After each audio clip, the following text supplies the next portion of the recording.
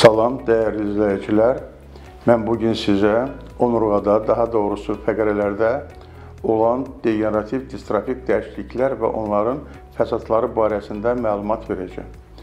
Onurğa sütununda olan fəqərələrin tərkibində olan dəyişikliklərlə əlaqədar olaraq o dəyişikliklər fəqərələrin özündə maddələr mübadiləsi çatışmamazlığından, orqanizmdə gedən proseslərdən asılı olaraq dəyişə bilər və xarici faktorların təsirindən də dəyişə bilər. Gündəlik həyat tərzi, travmalar, peşə, hansı peşənin olmasına asılı olaraq ağır işlərlə məşğul olmaq, ağırlıq qaldırmaq, e, ağır idman növü ilə məşğul olan insanlarda fəqərələrdə dəyişikliklər əmələ gələ bilir. Onun mineral tərkibinin dəyişməsi, sıxlığının dəyişməsi, orqanizmdə olan hormonal proseslərin ümumiyyətlə maddələr mübadiləsinin pozğunluğunun da təsiri vardır. Hansı təsirlər əmələ gəlir? Hansı e, dəyişikliklər əmələ gəlir?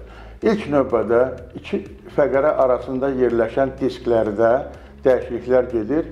Diskin nüvəsində dehidratasiya, yəni susuzlaşma baş verir və bununla əlaqədar olaraq ətrafında olan fibroz halqalarında dəyişikliklər gedir.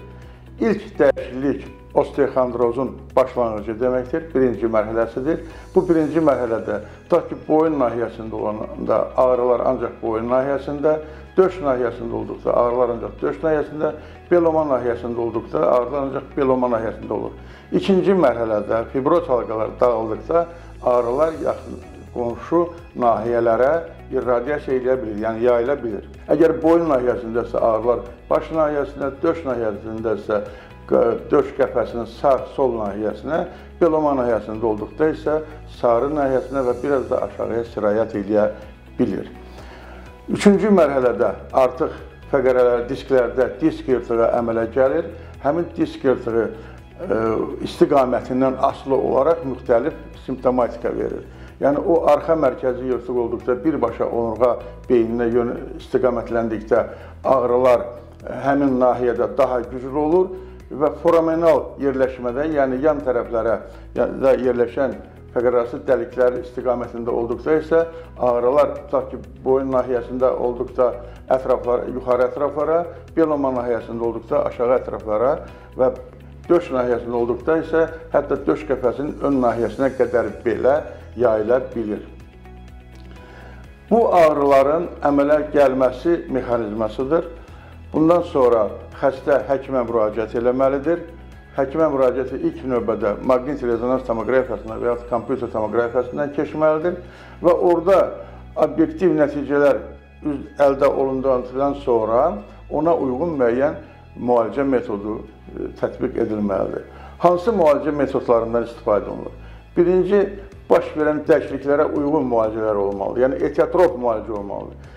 Əgər diskin deməli nüvəsində gedən dəyişiklik, mukopolisakharidlərin dağılması, beta-glikanın azalması varsa, mütləq tərkibində beta-glikan olan preparatlardan istifadə etmək lazımdır. Əgər qığırdaqda dəyişiklik edibsə, mütləq xondroprotektorlardan istifadə etmək lazımdır. Mikrosirkulyasiyanın pozulmasına uyğun, venoz durğunluğa uyğun, əmələ gələn ödəmə uyğun, sinir köklərində əmələ gələn ödəmlərə uyğun preparatlar təyin etmək lazımdır. Amma bütün bunlarla yanaşı ən yaxşı müalicə fizioterapevtik müalicədir. Artromed tibb mərkəzində onurğada e, fəqərələrdə gedən degenerativ distrofik dəyişikliklərin fəsadları, yəni əmələ gəlmiş disk yırtıqlarının müalicəsi üçün çox gözəl fizioterapevtik şərait vardır. Burada lazer terapiyadan istifadə olunur. Sinir köklərində olan e, ödəmi götürmək üçün termatur 250 aparatından istifadə olunur.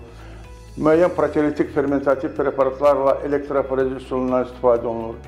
Qan dövranını yaxşılaşdırmaq üçün e, maqnitoterapiyadan istifadə olunur və mineral e, sıxlığı artırmaq üçün palçıq müalicəsindən istifadə olunur. Təbii ki, sonrakı dövrlərdə masajın, müalicə gimnastikasının və manual terapiyanın da öz yeri vardır.